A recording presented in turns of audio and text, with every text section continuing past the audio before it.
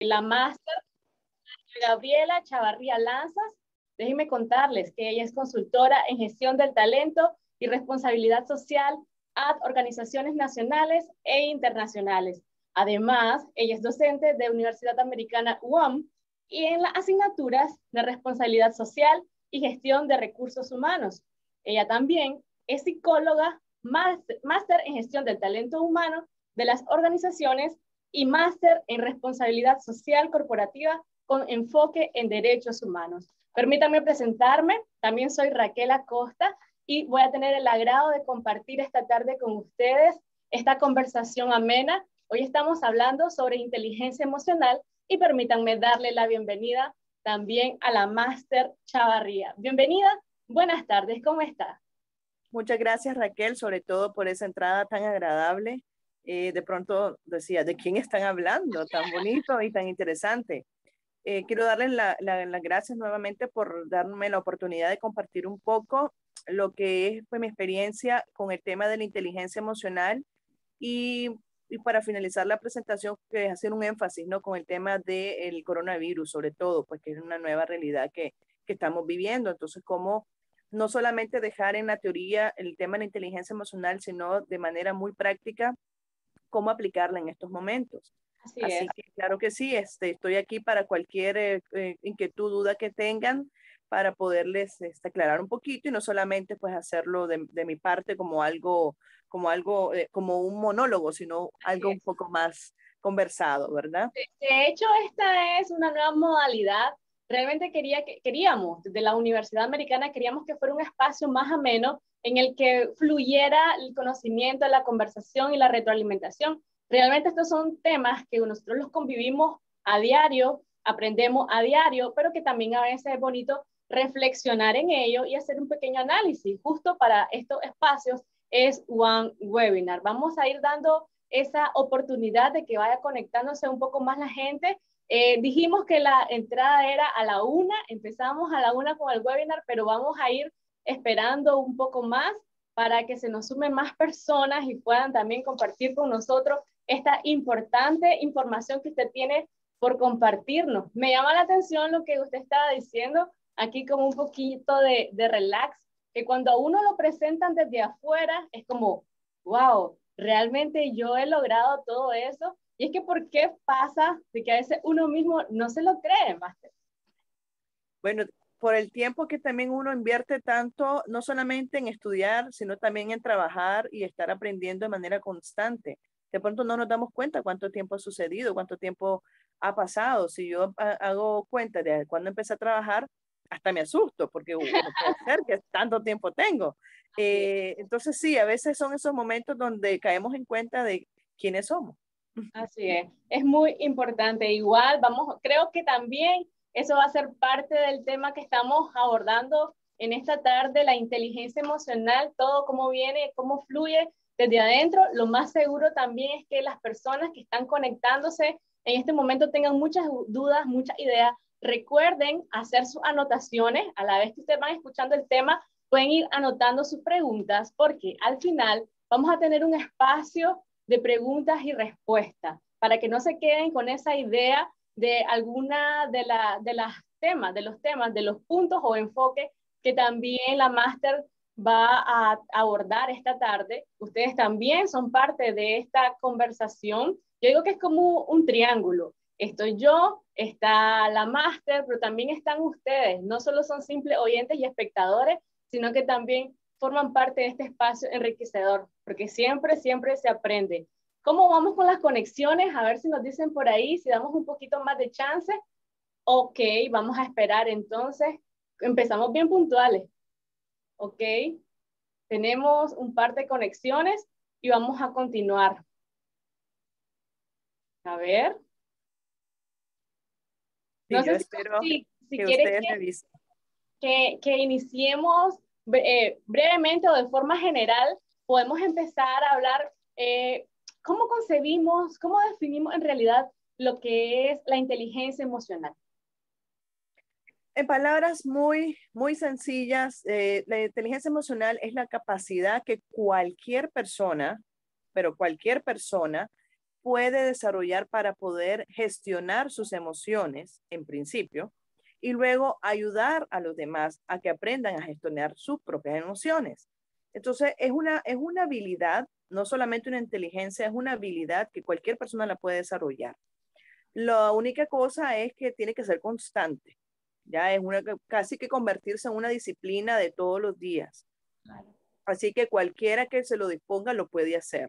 No es como las otras inteligencias que tenemos, unos somos más inteligentes en la parte eh, intelectual, otros son más inteligentes en la parte matemática, porque así nacemos. Pues la inteligencia emocional tiene esa diferencia, que cualquiera lo puede desarrollar eh, si, se lo, si se lo dispone. Entonces es poder aprender a gestionar emociones. No es que voy a invalidar mis emociones tampoco, ni es que voy a, a eliminar otras emociones. Es sencillamente reconocer la emoción que estoy sintiendo en el momento y saber la mejor forma de poderla expresar. Y luego, pues, ayudar a los demás a conseguirlo. Eso en palabras muy sencillas o, para introducir el tema, pues, de la inteligencia emocional. Perfecto. Realmente me llama la atención este término porque si bien no es un término nuevo, esto de, la, o de las habilidades como la inteligencia emocional, algo que data de muchos años, quizás luego nos explica, es un término que se ha popularizado en los últimos tiempos. ¿Qué nos puede decir al respecto? Bueno, lamentablemente no voy a negar que en su momento la inteligencia emocional se ha utilizado como una moda. No, no lo voy a negar, pero no es una moda, realmente es una inteligencia que se viene estudiando desde los 90 eh, y que se ha ido pues popularizando, se ha ido popularizando, eh, que sencillamente nos brinda una herramienta de poder hacer, eh, enfrentar mejor la realidad que vivimos y poder mejorar en nuestro actuar y en nuestras relaciones humanas. Pero, pero sí, pues yo quiero que no lo veamos tampoco como hoy está de moda y mañana entonces vamos a hablar del coaching y pasado mañana vamos a hablar del mentoring, porque no, realmente la inteligencia emocional yo la veo hasta inclusive hasta como una opción de vida, ¿ya? Yo opto si quiero o no quiero ser eh, eh, emocionalmente inteligente. Y lo voy aprendiendo poco a poco, pues. Eh, pero sí, este, tenemos, a estar hablando de inteligencia emocional desde los 90, inclusive antes se podía hablar de inteligencia emocional con otra denominación, pero fue Goleman, que es un psicólogo estadounidense, el que le dio como mayor auge y el que ha hecho de los libros más, más significativos en el tema. Se llama el libro Inteligencia Emocional, precisamente, ¿verdad? Eh, también mucho se habla de la inteligencia emocional y su relación con los neurotransmisores. Los neurotransmisores son, eh, son unos, como unos sustancias que tenemos dentro del organismo, dentro del cerebro, para ser más específica, que es la que nos permite que tener una comunicación interna o que lo que yo quiero pensar y lo que estoy sintiendo se conecte. ¿ya? Eh, entonces también se habla mucho de cómo educar a los neurotransmisores a través de la neurolingüística. Pero bueno, ese es otro, ese es otro punto que forma parte eh, de la inteligencia emocional. Pero en mi juicio personal, eh, no es necesario entrar en tanto ese detalle para poder ser emocionalmente inteligente. Yo puedo hacerlo con tips del día a día, con, puedo hacerlo con eh, nuevas creaciones de hábitos y con hacer una sanidad mental. Para mí eso es más importante que hacerte un, un coco wash, si queremos ponerlo de nuestros neurotransmisores. Pero son otras alternativas que nos ofrece y que encontramos en el libro de Goleman. Okay. Eh, usted nos habla de estos tips, de estas habilidades, de que es una disciplina eh, de vida de todo, de todo y cada, de cada rutina. Coméntenos por dónde podemos empezar eh, para ponerlo en práctica, porque realmente puede que hayan personas que sí son emocionalmente inteligentes, quizás otras son un poquito menos o les cuesta, pero tal vez creen que tienen que empezar de cero y posiblemente no sea ese el punto de partida. ¿Cuáles son esos tips que usted nos puede brindar para empezar primero a definirnos, después analizarnos y decir, por aquí empezamos? Ok, sí, a mí me encantaría iniciar con, una con algunas de las definiciones que han hecho grandes autores sobre la inteligencia emocional. En principio tenemos en 1993 que Marjorie Salovit lo han descrito o lo definieron como la capacidad de controlar las propias emociones y las ajenas, así como los sentimientos poder discriminar entre ellos, es decir, poder ponerle un nombre y apellido a la emoción y saberla utilizar en el momento correcto. Tenemos otro, otra definición eh, de Wensinger en 1998 que habla que es el uso inteligente de las emociones. Dice así, usted intencionalmente hace que sus emociones trabajen para usted. No es que yo me voy a dejar llevar por la emoción, sino que yo voy a controlar esa emoción. Y Schmidt en 1997 la ha definido como la capacidad de reconocer y responder a las emociones y sentimientos de los demás. Son conceptos bastante eh, básicos e importantes de la inteligencia emocional que también fueron previos a lo que decía Goleman o complementarios a lo que decía Goleman.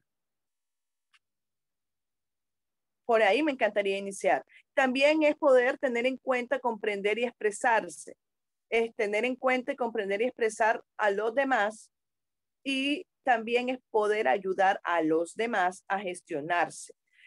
Puede sonar inclusive eh, que la persona se puede convertir como controladora. No, yo no, eh, porque muchos me lo han preguntado o me lo han visto así. Yo no diría que yo me vuelvo controladora. Yo sencillamente me vuelvo una persona donde, vuelvo a repetir, no me dejo guiar o influenciar por mi emoción. No es ella la que me gana. Sencillamente yo busco un balance entre mi mente y mi corazón de lo que estoy sintiendo ante una acción, alguna situación, alguna persona. Eso es en pocas palabras, pero no, no es, vuelvo a repetir, no es que voy a eliminar lo mío. Mi emoción no la puedo eliminar, dejaría de ser humana, pero sencillamente aprendo a gestionar esa intensidad y esa expresión de esa emoción, porque a veces eso es lo que nos falla, pues como persona. Pero Raquel decía algo muy importante. Es decir, Raquel, algunos nacen o cómo es eso, eh, algunas personas les sale más fácil, otras, sí, la personalidad tiene que ver, no lo voy a negar. La personalidad tiene que ver, pero cualquiera, si se lo dispone, puede ser emocionalmente inteligente. Una de las primeras cosas es la autoconciencia. ¿Qué quiere decir la autoconciencia? Es conocer mi emoción y mi sentimiento y dirigir mejor mi vida con mayor seguridad. Yo tomo plena conciencia de lo que estoy sintiendo en todo momento. Por eso también decía que es una disciplina que voy generando día a día. La inteligencia emocional no la desarrollé hoy y ya mañana ya hago otra cosa. No, es diario. Es un proceso diario. Por eso es la autoconciencia. Primero yo, cómo me estoy sintiendo. Luego, después de que yo me vuelvo una persona muy consciente de mi emoción, muy clara, voy a la autorregulación. Primero vengo y yo reconozco la emoción que yo estoy sintiendo ante tal situación es de enojo. Ok, le pongo un nombre y un apellido que se llama enojo. Y lo reconozco porque me hace sudar, me hace acelerar el corazón, me, molesta todo, eh, no, la gente en general me empieza a incomodar el enojo pero ahora viene entonces, una vez que le puse nombre y apellido al enojo, ¿cómo voy a regular ese enojo?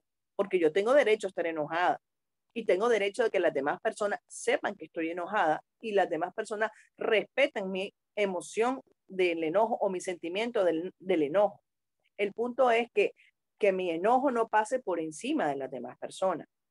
Entonces, ¿cómo regular esa intensidad del enojo?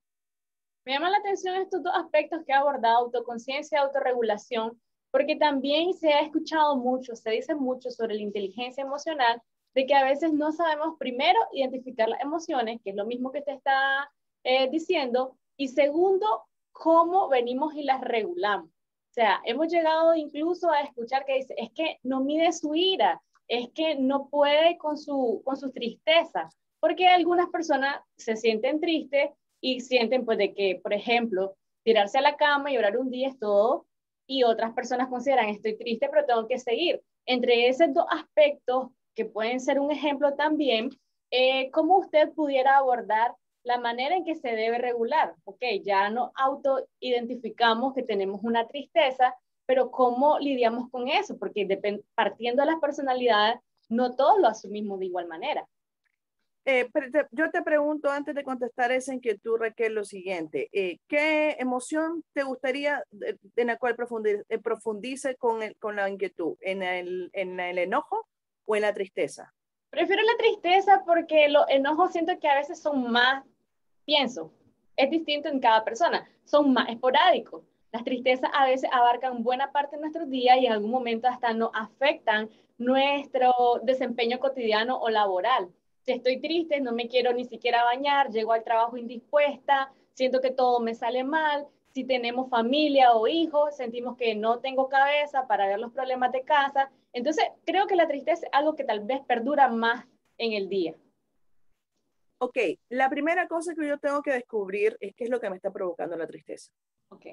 Estar clara de qué es lo que me lo provoca. Muchas veces la tristeza nos la provocamos por cosas que si la analizamos fríamente no deberían de tener un sentido. Ok. ¿Ya? Eso en principio. Segundo, si lo que me genera tristeza es algo real, auténtico, entonces también yo tengo que ir descartando o averiguando, y si no lo puedo hacer sola, busco ayuda, si, me, estoy en un estado de tristeza permanente, que ya podamos convertirlo hasta en una depresión, lo cual ya eso requiere de una atención este, psicológica e inclusive muchas veces psiquiátrica, o bien si estoy en un estado de tristeza, pero al final descubro que no es tristeza, sino es desmotivación o es desilusión. Entonces, es primero estar clara si es verdaderamente tristeza, luego, ¿qué es lo que me lo está generando? Si lo que me lo está generando es algo que yo puedo cambiar o, puedo controlarlo, la situación, entonces hago acciones para cambiarla y de esa manera dejar de estar triste. O si yo no lo puedo cambiar, no lo puedo controlar, tengo que averiguar si estoy triste o estoy deprimida, pero para eso también puedo buscar ayuda. Luego también eh, saber si, eh, vuelvo a decir, si es tristeza, si es este, desmotivación, si es desilusión, porque son diferentes también. Parecieran que son lo mismo o son similares a veces, pero no, son diferentes. A veces lo mezclamos, a veces lo Y ese es el punto al que quería llegar porque usted me habla de una autoconciencia y una autorregulación que tiene que ver incluso en esta. A veces mezclamos todo. Sí, exacto. A veces los mezclan, por eso hay que ponerles nombre y apellido a todos. Ahora, ¿cómo yo autorregulo la tristeza? Vuelvo a decir, todos tenemos derecho a tener estados de euforia, estados de tristeza, estados de alegría, estados de enojo. El punto es que en la medida que mi estado o esa sensación no afecta a los demás y no empieza a afectarme a mí, vamos bien, porque yo tengo derecho a estar triste. El punto es que esa situación no, me, no cambie mi rutina, no me afecte en mi desempeño, como decía Raquel, pero es que a veces no tengo ganas ni de bañarme. Ojo, si me dicen que esa persona no se quiere bañar todos los días, yo como psicóloga diría, hay que revisar si no estamos entrando en un estado de depresión, ¿ya? Pero si me dicen, no, es que le da pereza bañarse, entonces no, a ver, ánimo, hay que bañarse porque, por sanidad, por higiene, por, ¿ya? Por respeto a los demás, por los olores, yo qué sé. Entonces, son, es la preguntarse todo el tiempo, todo el tiempo, todo el tiempo, esa autoconciencia y ella misma me va llevando la autorregulación cuando yo no afecto a los demás ni me afecto a mí misma. Cuando no logro esta autoconciencia, ya para seguir avanzando porque hay otros puntos, cuando no logro esta autoconciencia, ¿cómo podría ayudarme yo misma? O sea, estoy mal, pero no sé identificarlo. Todavía no logro ponerle nombres y apellidos como usted misma nos está nombrando. ¿Qué terapia o qué tips, qué terapia puede ayudarme a llegar a ese punto de que sí estoy triste, pero no es que estoy enojada, pero sí puedo continuar. ¿Cómo lo hacemos? Si no quiero buscar ayuda profesional, puedo empezar con la utilización de un diario, donde voy registrando todo. Y después de una semana, reviso el diario. Después de 15 días, vuelvo a revisar. Y, y ahí me voy a ir dando cuenta qué situaciones me generan qué cosas. Y así me va a salir más fácil irlo este, poniendo nombre y apellido a esa emoción y poder saber este, cómo irla gestionando a un futuro, ¿ya? Porque ya sé, tal cosa me genera tal cosa, entonces cuando vuelva a suceder, yo puedo cambiar haciendo algo diferente, ¿no? Eso es muy importante para todas las personas que nos están viendo en este momento, que nos están escuchando, porque a veces creemos que solamente que el diario es una práctica solo cuando estamos niños. No sé cuántos de ustedes están ahí desde su casa, desde su oficina, desde un café viéndonos, en algún momento de su vida tuvieron un diario, pero a medida que crecimos nos olvidamos eh, cualquier cosa. Y un diario también nos ayuda a ir haciendo análisis de las transiciones de nuestra vida y cómo unas cosas las asumimos de una manera y luego de otra. Pero bueno, con, continuemos con estos enfoques, doctora. Tenemos la autoconciencia, la autorregulación. ¿Qué seguiría? A ver si me apoyan ahí con la presentación. Por ahí tenemos. Gracias. La motivación, claro que sí, la motivación. La motivación la tenemos de dos formas. Tenemos la motivación intrínseca, que es la que nace de mí, la que tengo yo, y la motivación extrínseca, que es la que me da el ambiente. Para el tema de la inteligencia emocional, la que más prevalece es la motivación intrínseca, la que nace de mí. ¿Qué me motiva a mí? ¿Qué me motiva a mí a seguir adelante, a levantarme, a hacer las cosas diferentes? Eso que me motiva, yo lo tengo que agarrar y lo tengo que potencializar para que luego, una vez que yo he potencializado y he agarrado lo que me gusta y lo que me motiva, aquello que me disgusta o no me, o no me anima, lo voy integrando poco a poco, porque tampoco puedo negar mi realidad y hay cosas que no me van a gustar. Entonces, la motivación es lo que me impulsa. Todas las personas tenemos algo que nos impulsa, todas. Una otra persona, uno mismo, una meta, lo que sea. Entonces, eso y también identificando qué es eso que me, me motiva, qué es eso que, me, que a mí me, me sacude y me hace levantarme con esa gana. ¿Qué es?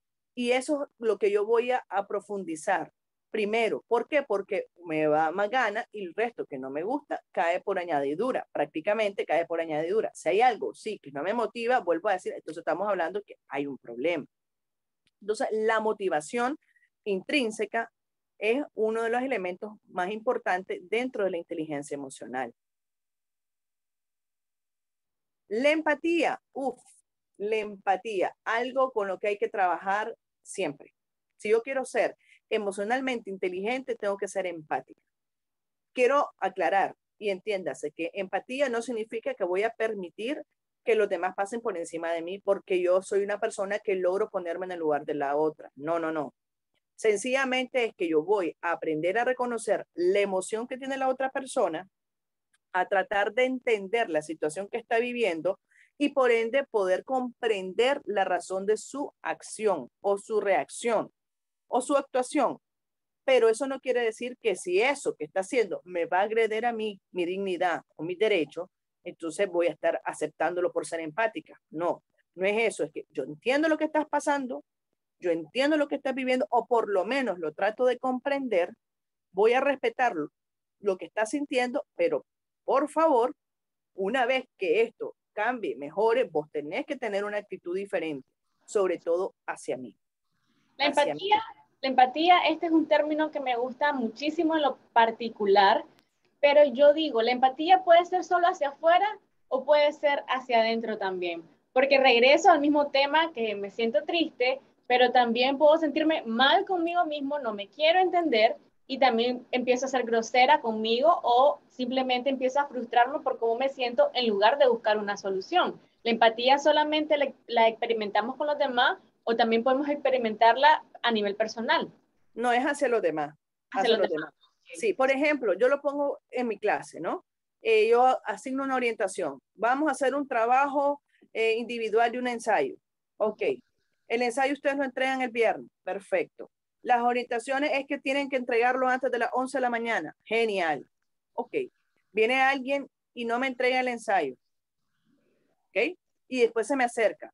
Profesora, mire, es que no le pude entregar el ensayo porque con esto del COVID tuve que ir a, cuidar a mi abuelita. Digamos que es verdad, ¿verdad? pongámosle que es verdad. Entonces yo le puedo decir, está bien, yo entiendo la situación, no voy a ponerme en una situación donde te voy a exigir eh, o te voy a bajar nota porque eh, dejaste de cumplir porque no quería, porque, porque estabas con algo que era más importante que hacer un ensayo. Yo espero tu ensayo el día lunes. El puntaje no te lo voy a alterar, vas a tener la misma valoración que el resto, pues claro, en la medida de, de la calidad de tu trabajo, pero el día lunes yo lo estoy esperando a las 11 de la mañana. Entonces, yo estoy siendo empática con el estudiante ante la situación que está pasando, sin embargo, mis reglas del juego o mi valoración hacia eh, cómo voy a calificar el resto del equipo y cómo lo voy a calificar a él no va a variar. Lo único que va a variar es el tiempo de entrega. Eso es ser empática, porque tampoco puedo permitir que pase por encima de mí o de, o de mis derechos y mi dignidad, sencillamente porque soy empática. Algo bien sencillo si ustedes quieren, pero es una forma que trato de ser más clara de a qué nos referimos cuando queremos ser o debemos ser empáticos. Eso es muy importante, la parte que usted remarca, que la empatía que yo puedo generar o desarrollar por otro no debe afectar mi, digamos, mi dignidad o mi posición, mi personalidad, porque también algunas personas se confunden. si quieren hacer X o Y reacciones. Y qué bueno que esta aclaración está aquí. Vamos a, bueno, por aquí tenemos un comentario, vamos a leerlo. Dice por acá, la empatía es una palabra con gran peso. Lastimosamente existen mucho egoísmo, individualismo. Ah, si tan solo fuéramos empáticos, seríamos mejores seres humanos. Totalmente de acuerdo. ¿Y qué más pudiese aportar usted a este comentario? Que la empatía es uno de los principales elementos para el establecimiento de las relaciones humanas sanas. No solamente para la inteligencia emocional, para el establecimiento de relaciones humanas sanas también. Claro, la inteligencia emocional y las relaciones humanas sanas van de la mano, pero también se trabajan pues de forma independiente, por, desde las teorías, desde los enfoques, etcétera. Pero sí que la empatía tiene un gran peso. Si yo quiero tener una relación humana sana, debo de aprender a ser empática. Pero para ser empática tengo que conocer y conocerme primero. Y en todos los aspectos de nuestra vida, porque incluso pasa en las familias, en los hogares, cuando somos papá, mamás o hijos, es como a veces los hijos no entendemos a las mamás o las mamás a los hijos o las parejas entre sí, porque, cree, porque ahí también entra, según yo, la parte de que solo existe mi razón o lo que yo estoy sintiendo y no pienso que el otro o la otra también puede pensar o sentir. Muchas gracias por ese comentario. Usted también que nos está viendo puede aportar, dejar su comentario, pregunta o inquietud. Recuerden que al final de la sesión vamos a tener un espacio de preguntas y respuestas, así que pueden ir tomando nota. Mientras tanto, continuemos eh, para seguir con el tema. Además de la empatía, ¿qué más podemos agregar a esto de la, de la inteligencia emocional? Las habilidades sociales. Las habilidades sociales entiéndase como la capacidad de trabajar en equipo, la capacidad de socializar, la capacidad de, de comprometerse, la capacidad de poderme relacionar con las demás personas, las habilidades sociales. O sea, primero, si voy a un orden cronológico, es parto de mí, del yo, que soy mí misma, y luego eh, que parto de mí y ya estoy lista conmigo, ya me conozco, ya me gestiono, ya todo, empiezo a desarrollar la parte de la empatía, que la empatía generalmente es bilateral, una persona a otra persona. Pero ya cuando ya, ya también soy empática, aprendo a ser empática, voy con extenderlo con otras personas en las habilidades sociales, cuando ya estoy en grupo, cuando yo ya estoy en grupo. Entonces, es aprendo a gestionar lo mío, identifico lo de los demás, le ayudo a los demás. ¿Cómo le puedo ayudar a los demás? Con el ejemplo. Recordemos que esto es ciencia pura. Ante una acción, una reacción. Es sencillo, es con el ejemplo. Eso es algo importante que también tenemos que recordar, que no es que voy a tratar de convencer a los demás y darles una charla sobre no sé qué. No, no, no, no. No, es que a través de mi ejemplo, los demás van a verlo. Raquel dijo algo importante, con los hijos, con los padres, con las parejas. En el caso de los hijos, el adulto es el padre o la madre, ¿no? Entonces, quien tiene que empezar a dar el ejemplo y ser más empático, en principio, es el padre y la madre. A medida que el niño va creciendo, él va a ir desarrollando todos estos em, eh, principios básico de la inteligencia emocional o pasos de la inteligencia emocional. Ante las parejas, generalmente en las parejas uno de los dos tiene una mayor madurez emocional. Entonces es esa persona la indicada para que empiece ese proceso. Ante un cambio de actitud, un cambio de palabra, un cambio de reacción, va a provocar en la otra persona un cambio también. Si yo quiero resumir en cosas básicas o fáciles, lo de la inteligencia emocional es identificar y tener la plena conciencia en mí de lo que siento, controlando en mí lo que hago, identificando en los demás lo que sienten, que es la empatía, y luego eh, identificando y trabajando con los demás lo que hacen, que es la habilidad social.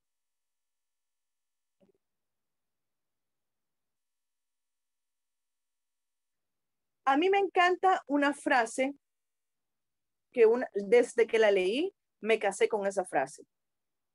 Porque esa frase describe también la asertividad, que es otro de las habilidades sociales que también cuesta mucho trabajar, la asertividad. Les voy a leer la frase. Vuelvo a decir, me casé con ella. La frase dice, cualquiera puede enfadarse. Tranquilo, cualquiera. Eso es algo muy sencillo. Pero enfadarse con la persona adecuada, en el grado exacto, que es la intensidad, en el momento eh, que en el momento exacto también. Es decir, no voy a andar enfadada después, mucho menos antes. Con el propósito justo, es decir, que yo me enfado con la persona correcta, con la intensidad y en el momento adecuado, pero por la razón, una razón lógica y del modo correcto, la forma en que lo expreso, eso ciertamente no resulta tan sencillo. Muchas veces yo me enojo con A y me desquito con B, C, D y J. No tiene nada que ver con el asunto. Raquel, no le escucho. Ay, sí, gracias. De repente, de repente hasta decimos, ay, no me hables, estoy enojada, estoy molesta, pero ¿qué tiene que ver si yo no te hice nada? Pues entonces también eso, y estamos aprendiendo en este momento que es parte de saber eh, lidiar con las emociones y es parte de la inteligencia emocional. Inteligencia emocional, según escucho, según usted nos está compartiendo, es un ejercicio cotidiano disciplina, cualidades, habilidades y puesta en práctica. Mientras no se ponga en práctica, no vamos a lograrlo. Eh, ¿De qué manera podemos fortalecernos, además de estos pasos que usted nos ha dado, de qué manera podemos irlo fortaleciendo? Cuando sentimos que vamos ahí en un bache, ¿cómo recuperarnos? O sea, ¿cómo salir de eso? Porque tampoco somos perfectos, unos días son mejores, otros son peores, o realmente uno decide cómo vivirlos, pero ¿cómo lo hacemos? Bueno, eh, yo mencionaba, por ejemplo, el tema de los diarios, porque los diarios nos ayudan a registrar eh, lo que estamos sintiendo por las diferentes situaciones y personas. Y luego registramos cómo reaccionamos y cómo nos sentimos y todo. Una vez que yo lo leo, me ayuda a poder prever futuros. Desde ahí voy cambiando. La otra es conversando, conversando con la gente. La humildad, hay que ser humilde, hay que reconocer cuando no hicimos algo bien, no actuamos bien, no dijimos algo correcto. La humildad. El preguntarnos, ¿cómo me sentiría yo si alguien me contestara de esta forma? La empatía. Exacto, la empatía. La asertividad, vuelvo a decir, ahorita estoy molesta, pero ¿por qué estoy molesta? Ah, no, estoy molesta porque no me llamó fulano pero ¿por qué me molesta que fulano no me llame? Entonces, ya todo ese tipo de preguntas también nos ayudan para después hablar con el fulano o la fulana en cuestión. Y el tema, la asertividad, que es, es un, la asertividad sí tiene su arte, porque es algo que yo tengo que identificar casi que de, inmediato. ¿Por qué? Por lo mismo que decía Raquel, pero ¿por qué estás molesta conmigo si yo no te he hecho nada? Ay, es que el fulano, bueno, entonces anda a hablar con el fulano. Sí. Anda a resolverlo con el fulano. Ya, si yo siento que en el momento no voy a poder controlarme, entonces lo más sensato es que me vaya y me, y me meta en un huevo.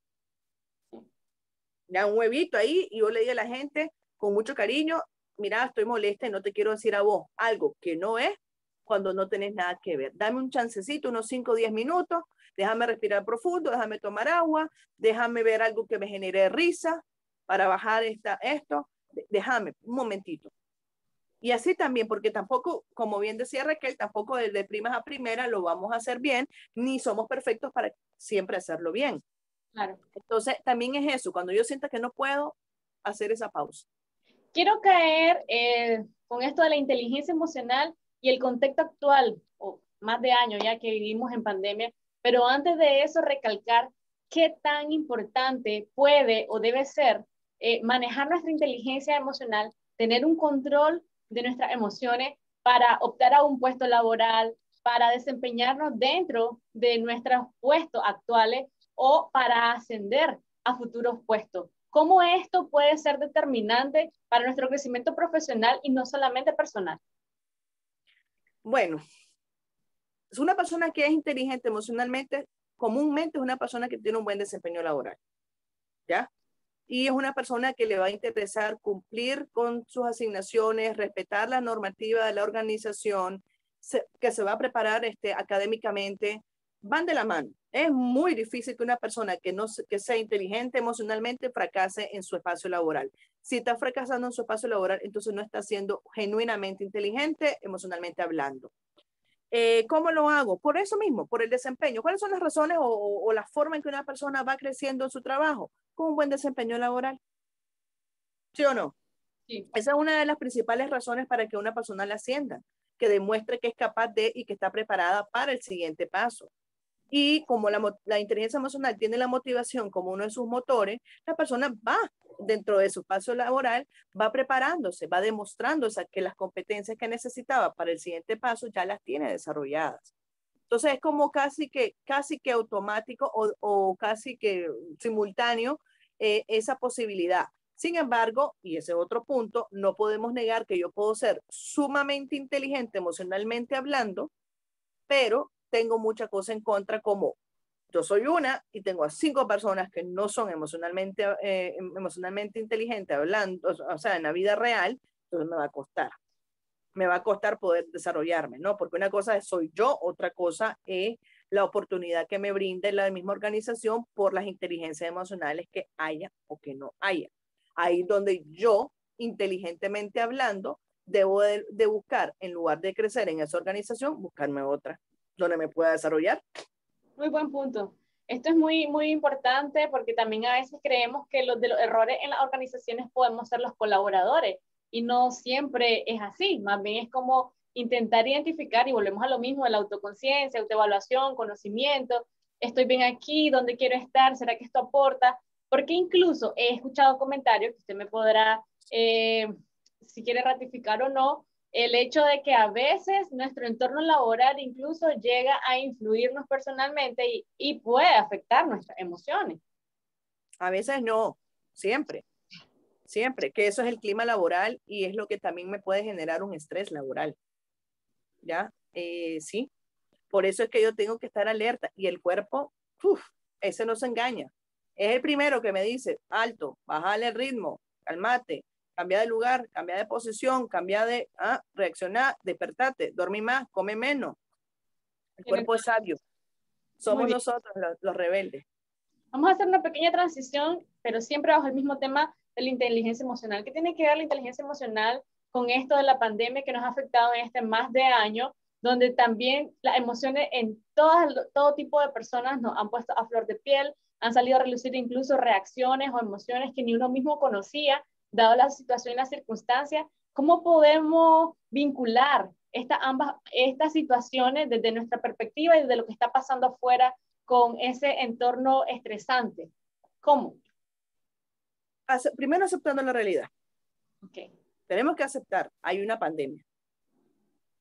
Tenemos que aceptar que cualquier persona puede adquirir el virus, cualquiera. No podemos vivir una burbuja que a mí no, que yo no, no cualquiera. Y tenemos que aceptar algo que se supone que ya aceptamos, pero no es cierto, que es la muerte. ¿Verdad? Sí.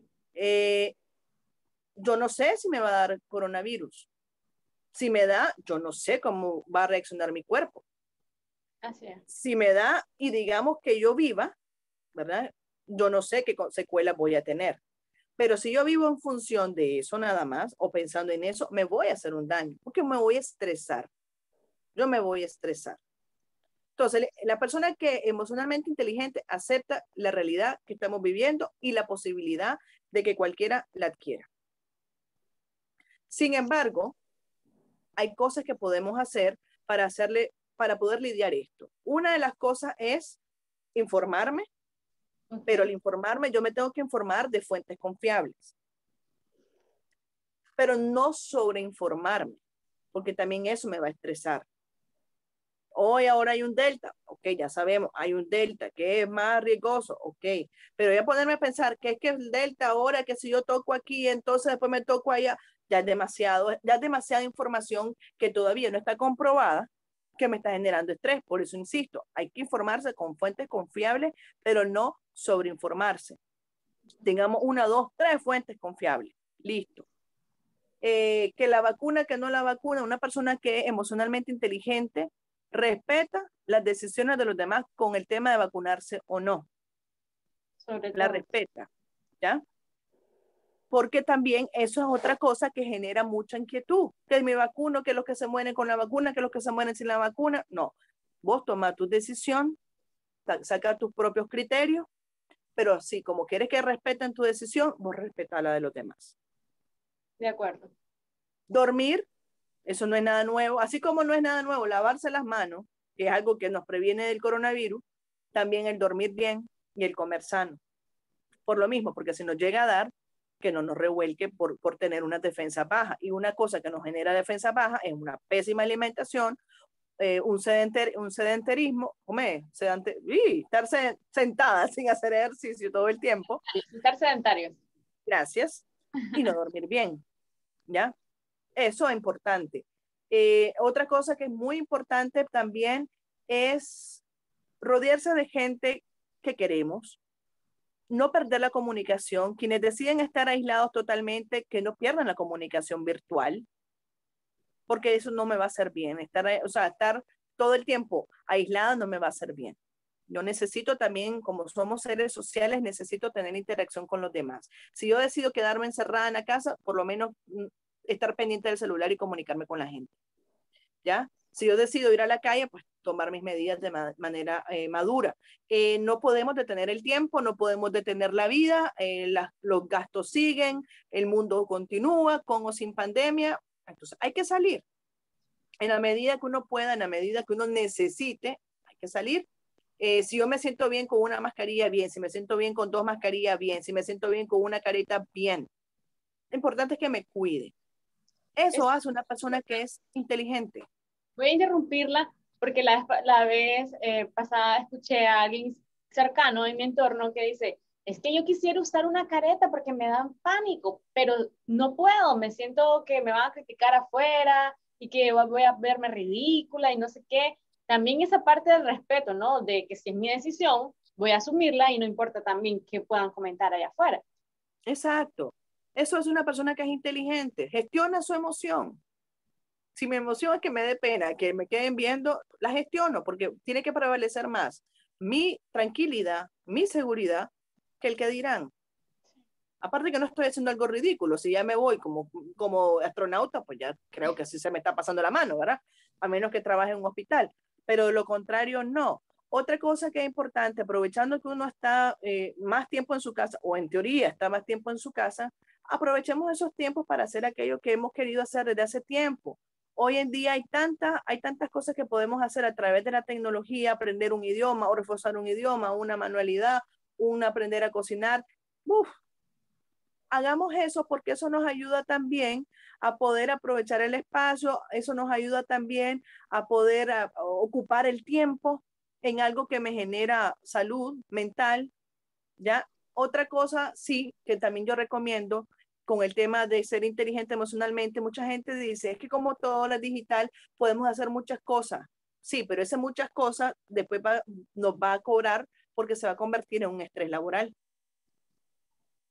Hoy en día es típico. A las 2 tengo una reunión, a las 3 tengo clase, a las 4 voy a hacer una presentación, a las 5 me voy a... ¿Y a qué hora descansaste y hiciste una pausa? Porque después te levantaste y fuiste a cocinar o te levantaste y fuiste a ver eh, tareas.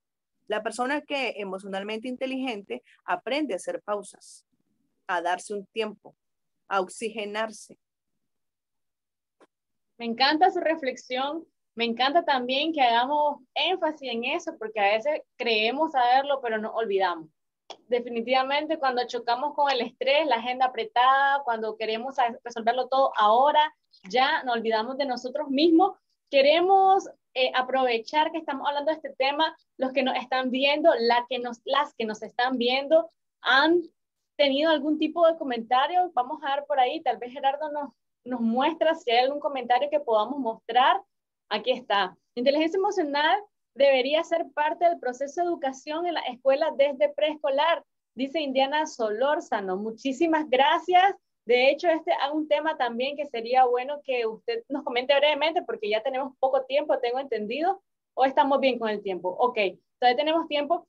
Y antes de darle la palabra, yo creo que también quiero comentar algo.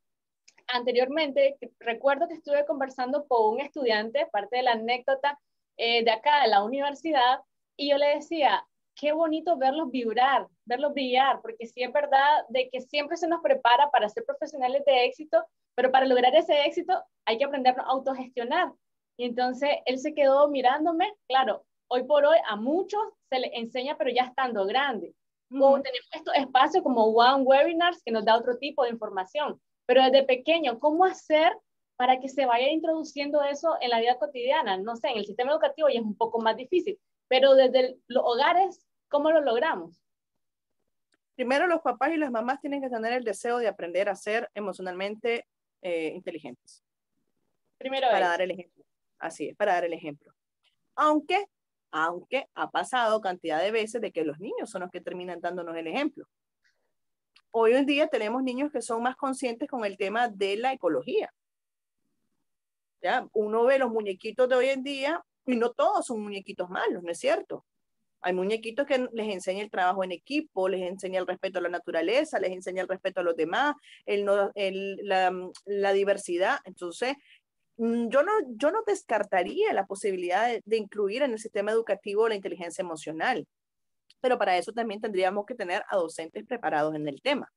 Entonces, un proceso de que simultáneo pasemos toda eh, la formación de inteligencia emocional, porque si lo queremos hacer por pedazo, nos va a costar más, se los digo porque eso ha pasado con otras temáticas, que ha sido por temática, perdón, por, por pedazos de grupo, y al final unos van más, adelantados que los demás. En este caso yo diría no, padres, madres, aprendamos, eh, eh, docentes aprendamos, niños aprendamos y también seamos ejemplo. Entonces yo creo que es un proceso de, de, todo mundo que deberíamos de tener integrado en las organizaciones también deberían de haber muchas charlas sobre este tema la UAM tiene la dicha de no solamente estos espacios, sino existe la asignatura de inteligencia emocional, existe la asignatura. Eh, entonces, tiene esa oportunidad la UAM de poder tener estudiantes con, con esa preparación o esa formación.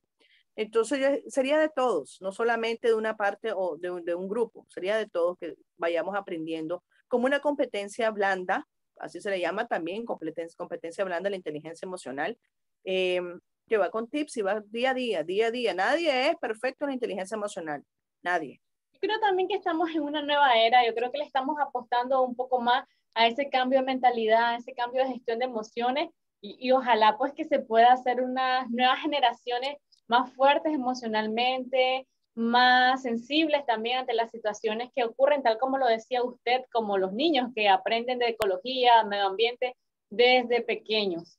Bueno, ya estamos finalizando el espacio, ya hablábamos un poco sobre la diapositiva que tenemos enfrente, inteligencia emocional y coronavirus, cómo podemos nombrar nuestras emociones, mantener la calma y enfocarse en lo que sí podemos controlar, que ese es un punto bien importante, controlar la ansiedad, ya lo explicaba de alguna manera también usted, estén en, en contacto regular con familiares y amigos, lamentablemente no somos islas, el ser humano necesita contacto, afecto, afecto físico, apego, y esto incluso eh, yo lo confirmo a partir de experiencias personales, porque ustedes saben que cuando estuvimos en, en crisis de pandemia mucho más fuerte, a veces necesitabas con tanta ansiedad un abrazo o una cercanía con alguien, entonces también no hay que alejarse por completo, ya lo decía usted.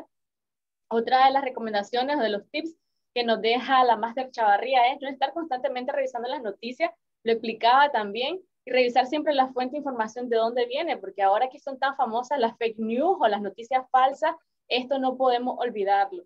Practicar la empatía y recordar que cada persona maneja el estrés de manera distinta.